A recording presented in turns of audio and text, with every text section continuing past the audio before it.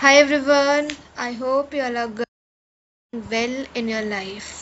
So I'm back with the another video and in this video I will tell you about the scholarship.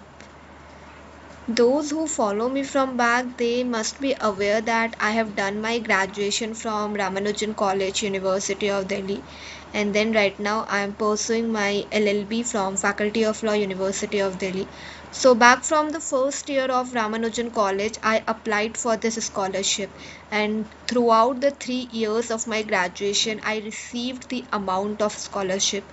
And in LLB also, in the first year, I'm done with my first year, I applied for that scholarship, I received the amount of scholarship. So ये एक ऐसी scholarship है जिसको मैंने personally apply किया है like I applied for it from the last consecutive four years तो ये काफ़ी अच्छी स्कॉलरशिप है आई फील दैट और इस स्कॉलरशिप का नाम है central sector scheme of scholarship for college and university students और ये स्कॉलरशिप ओपन है टिल थर्टी फ़र्स्ट दिसंबर 2023 हर साल ये स्कॉलरशिप खुलती है और इस साल का मैं बता रही हूँ 2023 का। अभी अक्टूबर मंथ से ये स्टार्ट हुई है और ये स्टार्ट ये ओपन है टिल थर्टी फ़र्स्ट दिसंबर 2023 तो if you follow all the eligibility criteria I will highly advise you to go head with it तो इस स्कॉलरशिप के बारे में कहाँ पता चल सकता है? तो ये वेबसाइट है scholarships dot G O V dot in जब आप इस स्कॉलरशिप की वेबसाइट को खोलोगे, उसमें काफ़ी सारे डिपार्टमेंट्स लिखे आएँगे गवर्नमेंट के।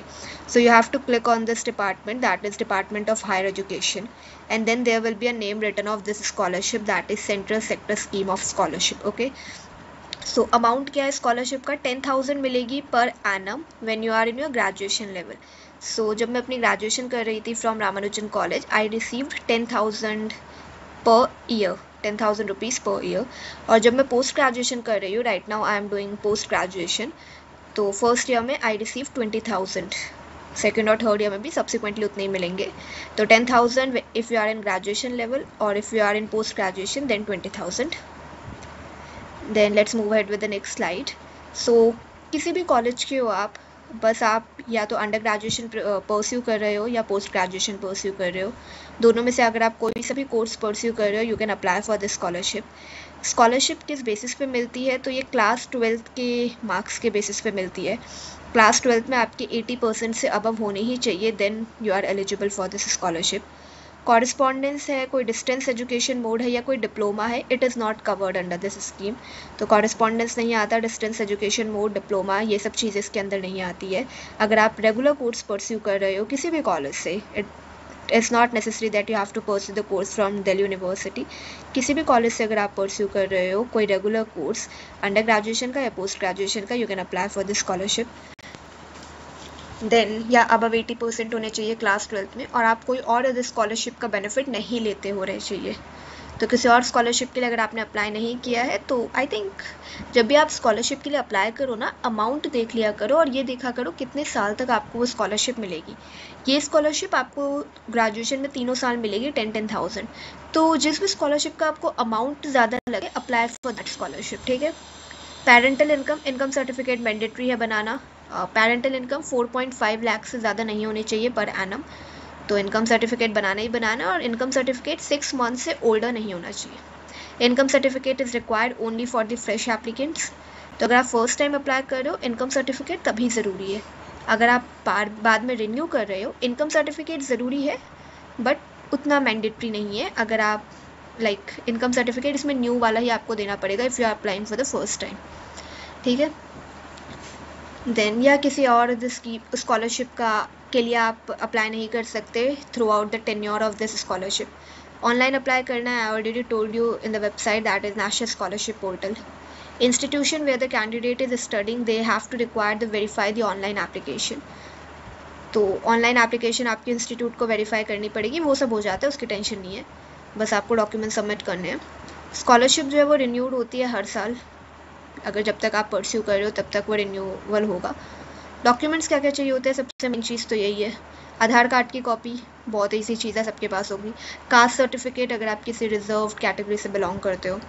Hostel fee receipt attested by department attested basically मतलब साइन होना चाहिए डिपार्टमेंट का, ठीक है? कॉलेज के साइन आप लगवा सकते हो हॉस्टल फ़ीस प्रिंट आउट होना चाहिए जो भी आप फॉर्म फिल करोगे, वो स्कॉलर स्कॉलरशिप पोर्टल वाली वेबसाइट पर जाकर जो भी फॉर्म आप फिल करोगे, उसका प्रिंट आउट होना ज़रूरी है.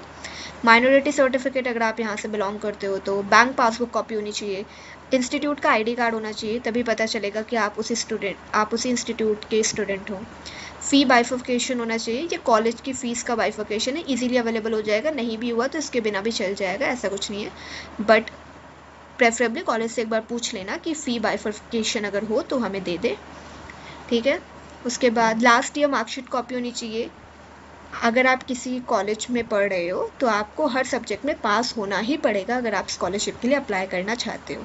अगर किसी सब्जेक्ट में बैक आई है एबसेंट हुए हो then you will not be able to avail this scholarship तो इसीलिए लास्ट ईयर मार्कशीट की कॉपी भी चाहिए। बोनाफाइड सर्टिफिकेट वो लोग फॉर्मेट देते हैं, बस आपको कॉलेज के साइन करवाने होते हैं, वो कॉलेज इसीलिए कर देता है। प्रिंट आउट निकालने के लिए वो एक दे देंगे सैंपल बस उसका प्रिंट आउट निकाल के कॉलेज में साइन करवाने हैं। Current year original fee receipt हाँ फ़ीस की रिसीट देनी होती है। इनकम सर्टिफिकेट मैंने बता दिया टेंथ क्लास का सर्टिफिकेट और domicile certificate domicile is also very necessary domicile अगर नहीं हो तो ट्राई करो कि बना लो। ठीक है? Domicile so with this we are done with today's video बहुत ही शॉर्ट वीडियो थी बट आई थिंक कि कहीं ना कहीं यूज़फुल लगेगी because scholarship is something I think we should try अगर आपके पास इनकम सर्टिफिकेट है, अगर आपके पास अदर डॉक्यूमेंट्स है and if you need any kind of financial help I think it's a great way and Delhi university literally बहुत सारे स्कॉलरशिप्स प्रोवाइड करता है.